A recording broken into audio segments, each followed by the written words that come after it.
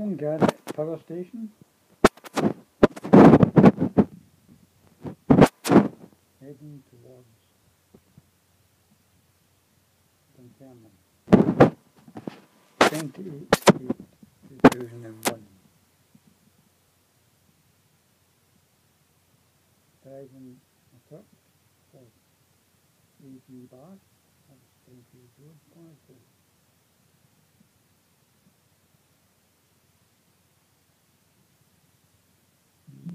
don't mind